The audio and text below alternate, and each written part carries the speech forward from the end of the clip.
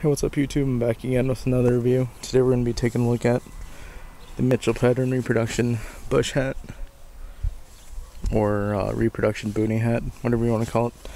Um, it's made out of the uh, same material as the 8 point cover that I just reviewed.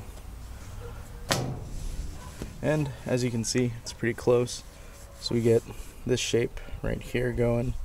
And then here it is on the original so it's pretty accurate. And does have loops. It's got air holes on each side, air vents.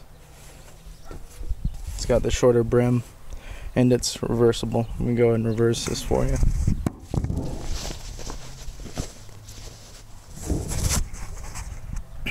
That's what it looks like when it's completely reversed.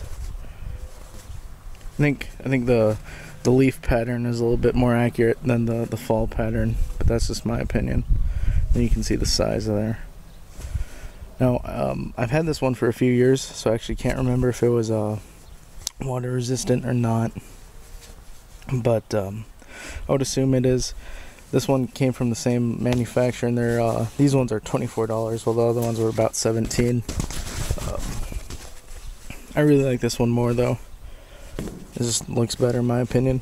Um, and there's a lot of ways that you could wear this. Like you can fold the brim up, um, kind of let the water run off the sides and sieve down your face.